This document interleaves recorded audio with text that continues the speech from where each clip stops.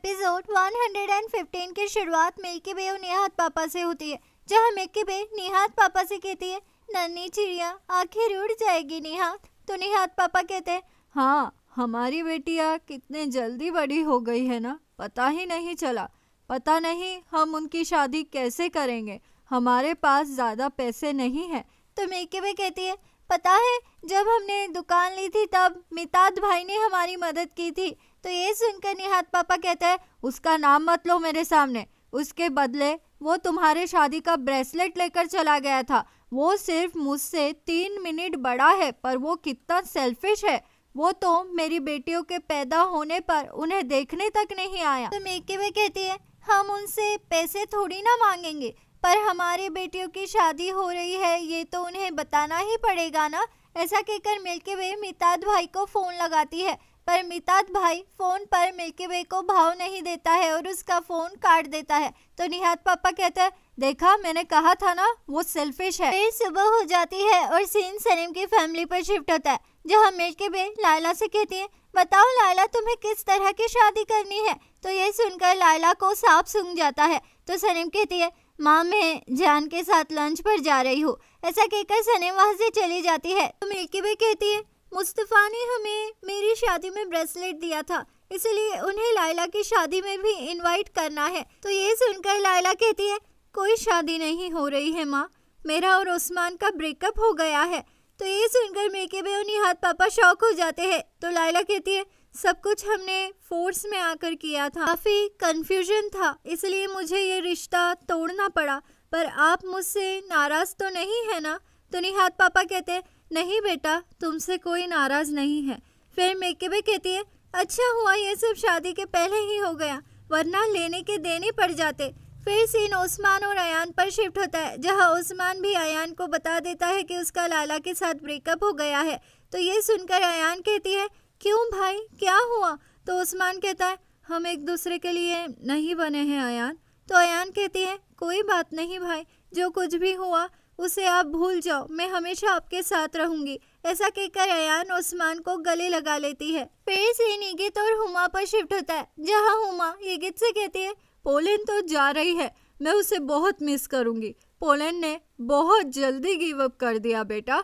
तो यगित कहता है, वो और करती भी क्या? जान ने सनीम को प्रपोज कर दिया। तो हुमा कहती है हाँ सच में, सनीम तो काफ़ी बेचारी सी है। जान उसे जल्दी ही छोड़ देगा। मुझे तो ऐसा ही लगता है। फिर बेचारी सनीम का क्या होगा?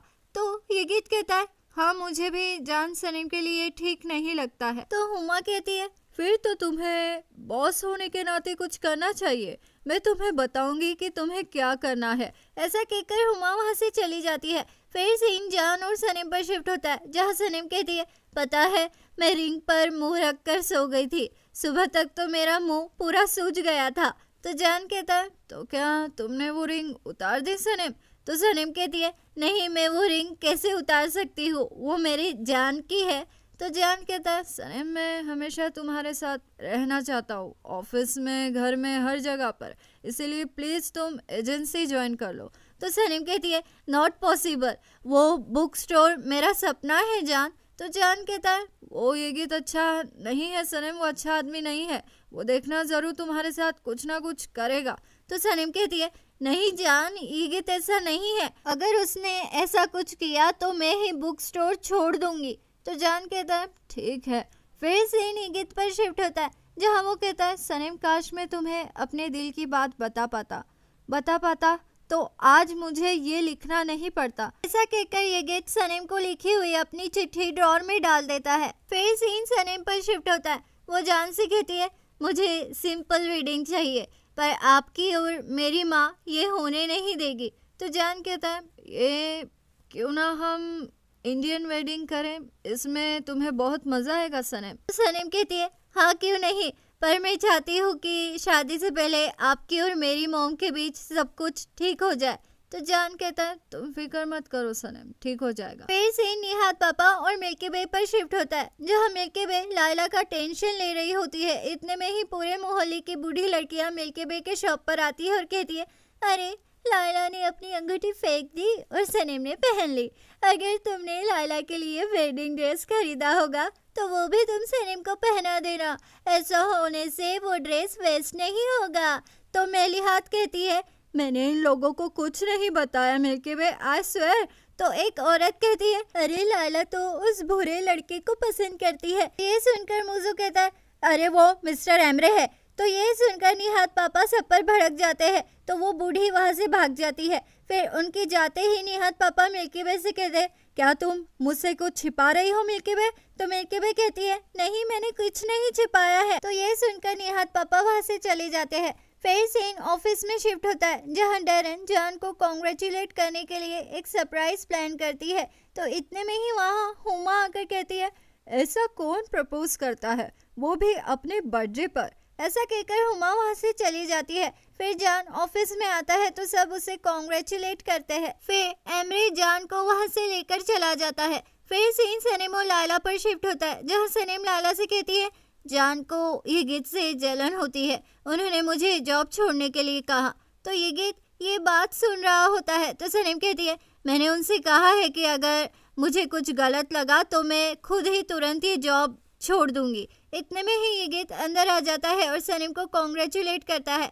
फिर ये गीत कहता है पोलैंड जा रही है। तो ये सुनकर सनीम को बहुत ही खुशी होती है। इतने में ही डेरन वहाँ आती है और कहती है, प्लीज़ सनीम लाइला हिगित एजेंसी में चलो। मुझे कुकिंग बुक पर कुछ डिस्कस करना है। तो सब ये सुनकर एजेंसी में चले जाते हैं। फिर जान और सनीम जैसे ही मेन डिपार्टमेंट में आते हैं, वैसे ही सब एम्प्लॉयज़ पटाखे फोड़कर केक लाकर जान और सनीम को सरप्राइज़ देते हैं। तो ये देखकर जान और सनीम बहुत ही खुश हो जाते हैं और केक कट करते हैं। फिर सारे एम्प्लॉयज़ जान को सनीम को किस करने के लिए कहते हैं। तो जान सनीम को किस कर लेता है, पर हुमा और ये गीत को इन सबसे बहुत ही तकलीफ़ होती है। तो सनीम कहती है, क्या हम मिस हुमा से बात कर ले जान? तो जान कहता है, ओके, ठीक है, चलो चलते हैं।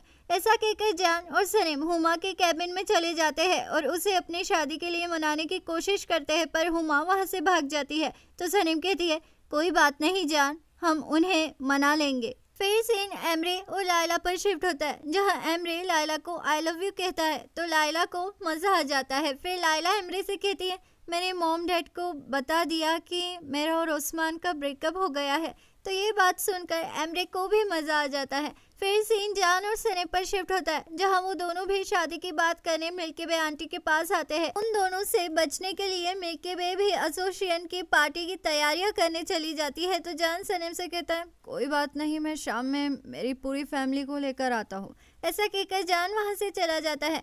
फिर सीन एसोसिएशन की पार्टी में शिफ्ट होता है जहाँ मूजो सनेम से कहता है देखो, अगर गुलीज यहाँ आ गई तो समझो कि उसने मेरी डेट का प्रपोजल स्वीकार कर लिया है। ऐसा कहकर मोजो कैंडल आने चला जाता है। इतने में ही मेली हाथ वहाँ आती है और सनीम से कहती है, तुम्हारा अंकल भी तुम्हारी शादी में आने वाला है, पर वो तो बहुत ही सेल्फिश आदमी है। इतने में ही मिलके बे वहाँ आकर कहती है, वो हुमा आ रही है, उसके लिए ये जगह ठीक कहाँ है? तो सनीम कहती है, माँ, वो मेरी सासू माँ है, प्लीज़ आप कुछ उल्टा सीधा मत करना। तो मेली हाथ कहती है, मिल्की बे, यही मौका है, तुम उस औरत से अपना बदला ले लेना। इतने में ही ओस्मान वहाँ आता है और लाइला से कहता है लाइला मुझे एक ऑफ़र मिला है ऑस्ट्रेलिया में ऐड करने का, इसीलिए मैं जा रहा हूँ। तुम अपना ख्याल रखना। गुड बाय लाइला तो लाइला कहती है, नहीं ओस्मान, ऐसा मत कहो।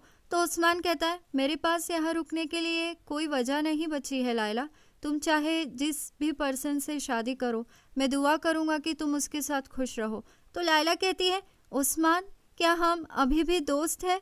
तो उस्मान कहता है हाँ लाइला हम हमेशा दोस्त रहेंगे। अब आगे क्या होगा? क्या ओस्मान सच में शहर छोड़कर चला जाएगा? आगे क्या होगा? जानने के लिए बने रहिए मेरे चैनल दीवाने हैं यहाँ पर। जल्द मुलाकात होगी अगले एपिसोड में। लाइक शेयर सब्सक्राइब कर दो। अच्छे लगे हम तो।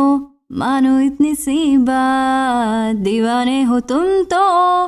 लाइक शेयर सब्सक्राइब कर दो। अच्छे लगे हम तो। मानो इतनी सी बात दीवाने हो तुम तो। अलविदा दीवानों, जल्द मुलाकात होगी अगले एपिसोड में।